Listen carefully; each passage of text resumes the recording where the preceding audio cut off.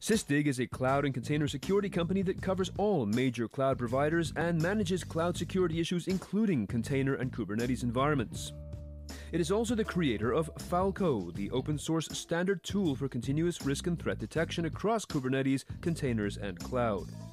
Sysdig contributed Falco to the Cloud Native Computing Foundation, and it has been downloaded over 30 million times.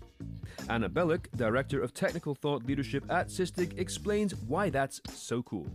The reason that's pretty cool is open source is very transparent, so you know what you get. And if you have any questions, you can get right into the Git repo and check it out. You can contact our staff or the CNCF to find out more.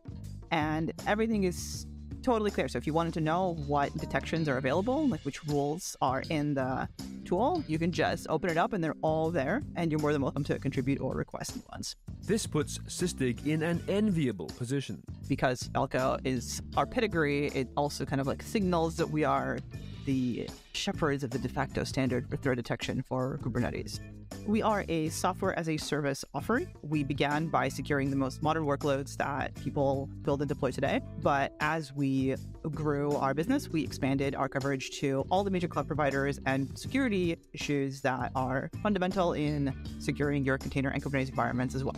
For more information, visit sysdig, that's S Y S D I G, dot com.